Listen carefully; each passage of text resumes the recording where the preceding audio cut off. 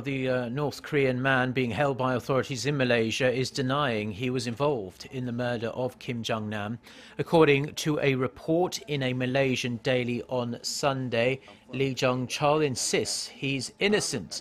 Ri claims he was not even at Kuala Lumpur International Airport at the time and was not among the four suspects captured on CCTV footage. So far, the police have not found any direct evidence linking him to the killing. Meanwhile, leaked video footage that appears to show the moments leading up to Kim's death has been posted on YouTube.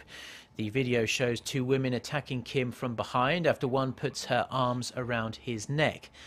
Now, regarding what will happen to the body of Kim Jong Nam, the police say they will only hand it to Kim's close family members, adding they should personally visit Malaysia.